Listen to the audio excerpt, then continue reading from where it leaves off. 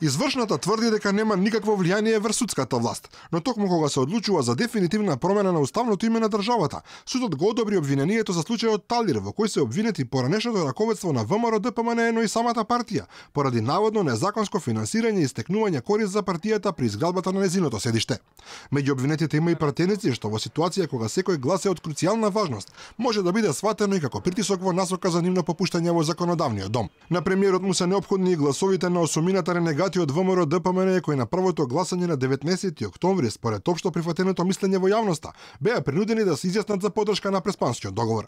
Тогаш пратениците Крсто Муковски и Љубен Арнаудов и Саше Василевски беа пуштени да се бранат од слобода, само за да можат да гласаат во собранието. Подозна се дозна и дека семената фирма на Муковски добила тендери од државата. Законот за делумна амнестија ги ослободи од одговорност токму нив, а беа направени измени на кривичниот законник со кој паднаа во вода и дел од обвиненијата на СЈО. За преспанскиот гласаше и порнешта министерка Елизавета Канческа Милецка, Прво обвинета во случајот тендери за извршување градежни работи во музеот на македонската борба за државност и самостојност, дел од проектот Скопје 2014. СЈО ја осомничи дека без почитување на законот за јавни набавки и без проведување на јавно надавање склучила договор со изведувач за дополнителни градежни активности.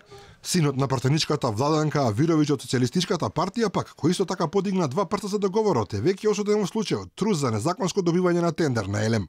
За уставни промени гласа и Емилија Александрова, Нола Исмеловска Старова и Зеки Рамчиловиќ, а од ВМРО ДПМН е јавно обвинија за притисоци и влијание врз нивни пратеници, спомнувајќи понуди кои се движеле и до милион евра за да се добие нивниот глас, што веднаш беше демантирано од власта.